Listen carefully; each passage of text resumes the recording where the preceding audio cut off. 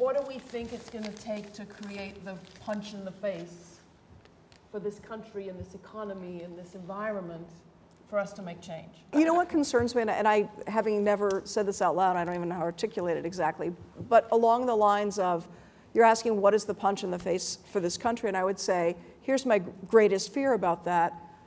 I think that we are punch in the face proof in the sense that we are two countries. We are the country that says United States of America that's on your dollar bill. We're the country that has a government and all of those things, and they have absolutely nothing to do with what it is to live in America right. and to be an American. And until those things relate and until people actually realize, oh, we could do something, there's, there's a complete dissonance between people and, and state. So, Anna? Well, I don't know, I mean, the new project I'm working on, which is about schools and failed schools and the people who um, uh, don't get to experience, you know, at least sort of school learning as a joyous matter. I mean, I think they get punched in the face every single day from the time before they're born.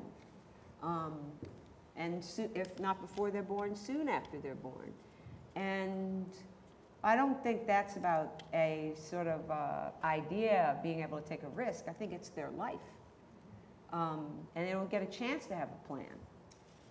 Uh, and I think the riskiest thing for us to do about that would be to see how we could encourage and coerce and try to bring people to be like we have in different times in American history, um, concerned about more than just ourselves and the people who we think that we love, and to go to a bigger idea of love, which is really not just about cuddling, but really reaching and saying, you know, about those who really don't have and are living broken lives with broken hearts, bring them to me rather than put them over there as far away from me as you possibly can.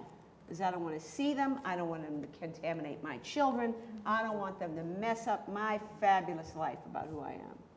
And we're really, really far from developing that imagination. So I just think there's a lot of people getting punched in the face every single day. They don't need to be looking for a risk. So there could be something about what we're doing, which is a little, I don't know, it's not really risky. Because it's, uh, you know, we're just having a good time talking.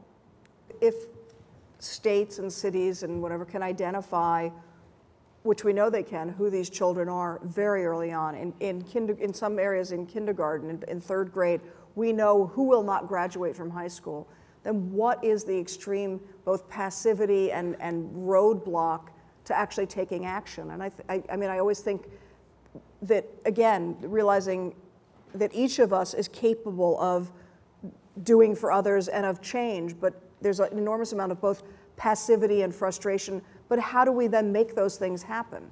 We lack imagination. Just this idea that, you know, the, the suffering of 7 billion people is yours. Right. That takes an extraordinary imagination to believe that. It's a real act of imagination. But I think anything that has moved in the world because of compassion is because it was an extraordinary act of imagination. In reality, I have absolutely nothing to do with you. You're here and I'm here.